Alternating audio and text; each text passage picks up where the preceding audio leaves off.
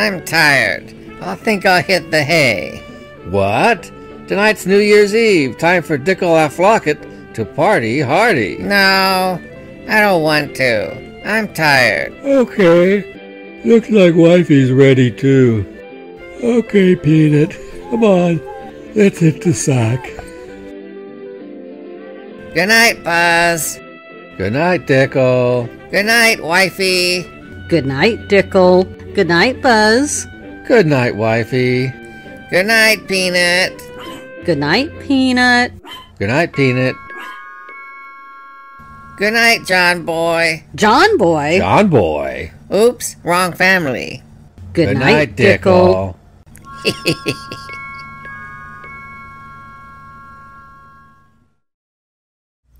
Welcome to another episode of Experimenting with Buzz. Now, since my last video, I've had a few suggestions about improving the hum problem. Personally, the hum doesn't bother me. I can live with it. It doesn't sound that bad.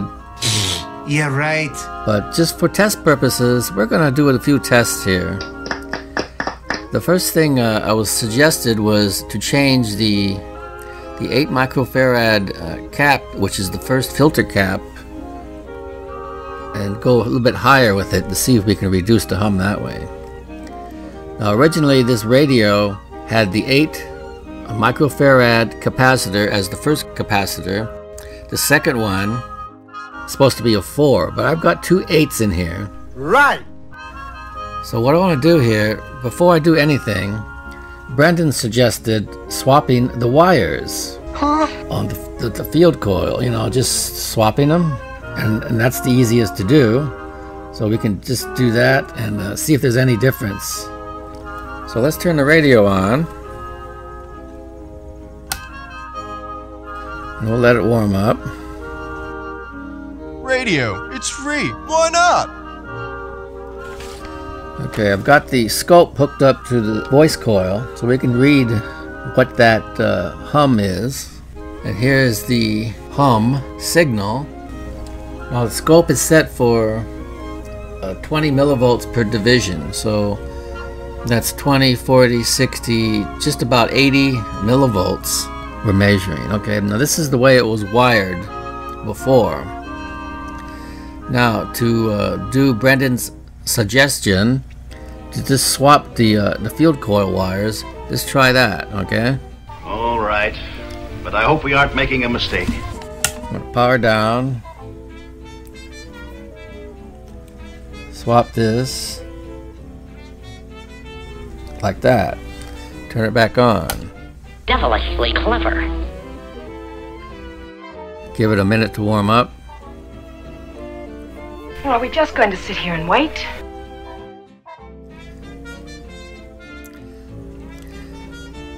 Now, right there, I noticed the difference with my naked ear. the hum did go down. Wow. If we look at the scope, Oh, Uh, we're looking at uh, 20, 40, 60, little little past 60. So it reduced it a little bit, Yes. almost 15 millivolts. So I'm going to wire it in like that. So now we know that uh, reversing the field coil wires does make a difference in the hum. So once I uh, solder those uh, on there permanently, we can experiment with the uh, the 8 microfarad cap. And what I think I'll do is I'll put a 4 microfarad across the cap in parallel, which will make it a 12. And we can see if there's any difference between them. I'm going to bring the microphone up close so we can see if there's any difference in the, the hum through the microphone. Because I can hear it through my, my ears. Let's see if you can hear it through the mic.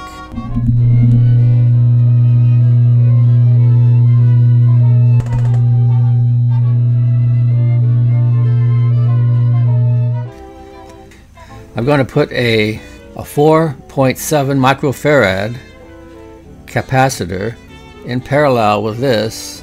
So we should get a 12 microfarad with that in parallel. So the yellow is the plus. Plus goes here. Oops. Huh? I must be colorblind here. Yellow goes here, and the green is the ground, which is this. All right. Can't get enough of that Sugar Crisp. Okay, so I'm gonna hold that right here. I'm gonna flip it on and bring it up slow. So here we go. Here we go. And there's 90 volts. And there's about 110 right here. We're going to let that warm up a bit and then we're going to look at the scope and see if that brought down the hum. Uh, I hope so. Just by my naked ear again. Hope you ladies aren't offended by my naked ear. I think it uh, reduced it quite a bit with just the 4.7. Let's take a look at the scope. Holy cow! As you can see, it uh, it took it down quite a bit. That is cool, I think. Let's turn up the volume on the radio. We all have different issues that we need to address to help us lose weight. So the diet and cleanse in Super Cleanse. Now, I'm probably going to leave it right as it is, but for experimental purposes, I'm going to put a higher capacity cap on there and uh, see what happens. Stick around, there might be fireworks. Okay, I uh, found a 10 microfarad at 450 volts. Now we're going to put this in there and uh, see uh, how much better this improves it. Now the green is the ground, Buzz. Don't reverse it. Green is ground, Oh, brother. and the yellow is plus. All right, turn the variac up. Here we go. I'm just gonna bring it up real fast here to right about 115. Let's take a look at the scope. Oh! and that brought it down to less than 40 millivolts. Now I still hear a hum on the speaker, but it's it's very very mild. Now for test purposes, let's go up a little bit higher. Now there's no way I'm gonna uh, put anything higher than this one in here, because if I put a larger one in there, Brendan said that stresses out the rectifier when on a cold start. So we don't want to do that. So I'm going to use one of these two. But let's just see what happens if we put a 22 microfarad in there plus the 8 which brings it up to 30. Alright, let's try that. I want to discharge that because it's probably charged. Right here I have a 22 microfarad. Okay, Buzz, the green. This thing is so slick I can't open it up. Goes to the negative. Mm-hmm. And the yellow goes to the positive. Mm-hmm. By using the variac, it doesn't stress out the uh, rectifiers as much as if I just flipped it on real fast on full power. Okay, there's uh, about 115. And let's look at the scope here. Holy smoke! As we can see, it brought it down to 20 millivolts. So, a higher filter cap will indeed reduce the hum, and I can barely hear anything on it now. That's amazing. That's quite uh, surprising. Oh, yeah! Let's bring Hey, hey, hey, be careful! Be careful! the microphone right into the cone.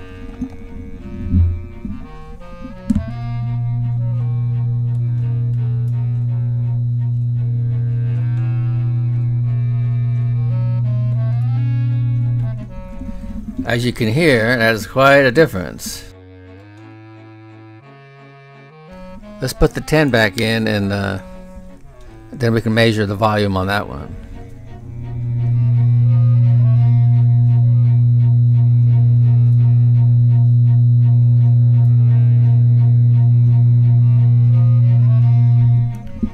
Now that's with the mic uh, right up there.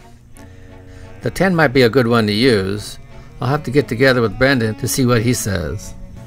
So, that concludes this edition of Experimenting with Buzz. Hmm.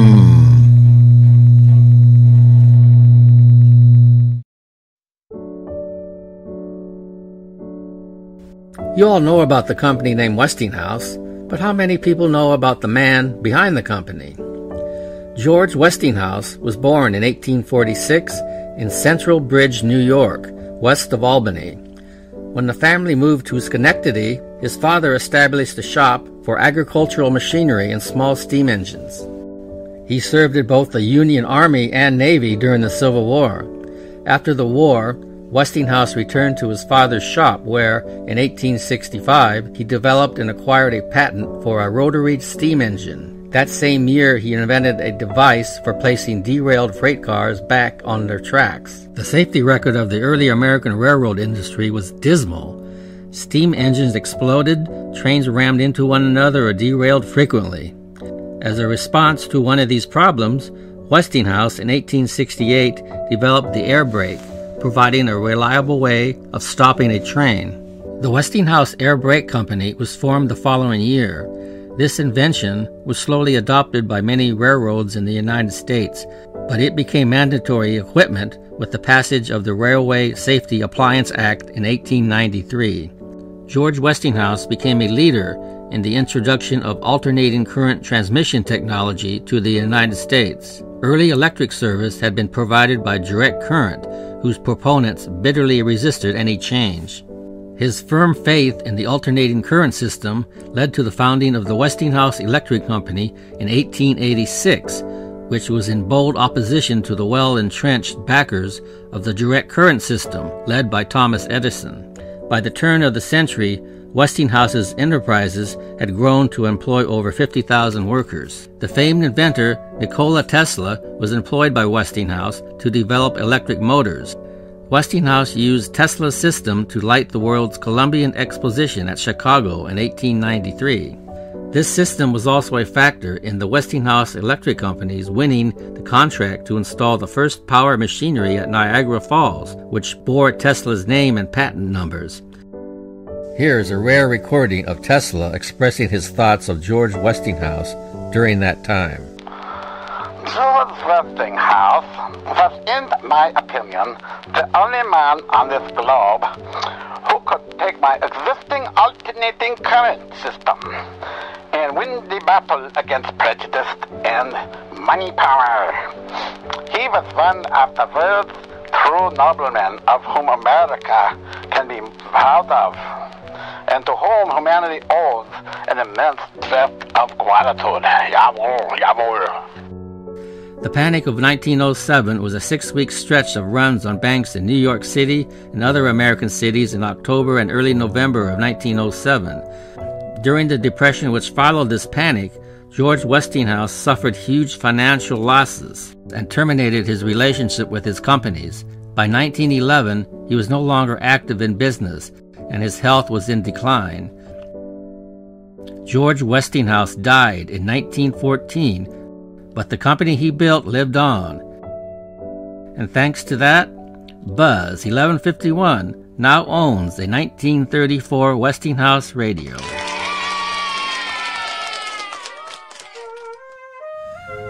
Okay, I have decided to remove the 8 and I'm going to put in a 30 here. Yeah, it's going to be a tight fit. I might have to stack it. I'm going to have to rearrange this.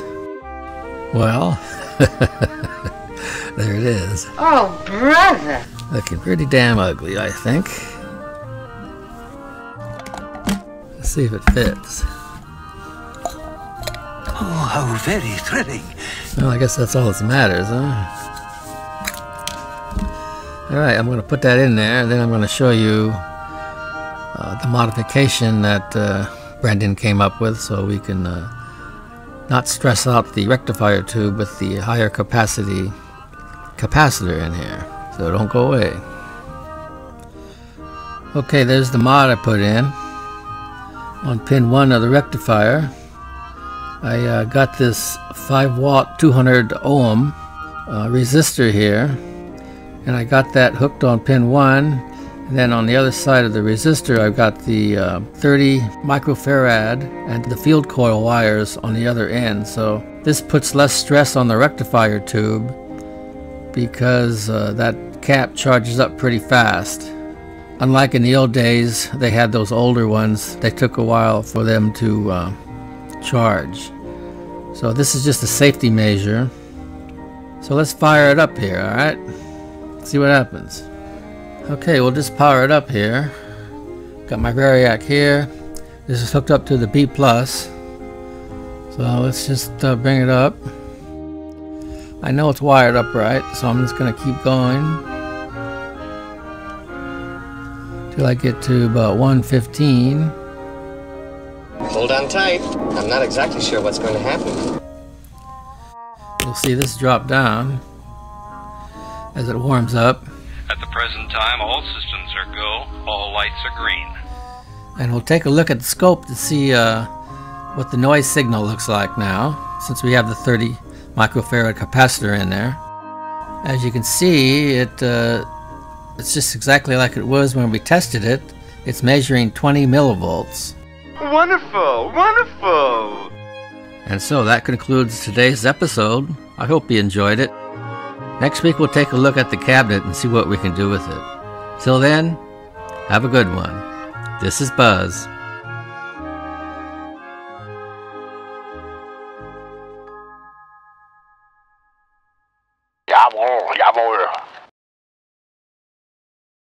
Good night, John boy.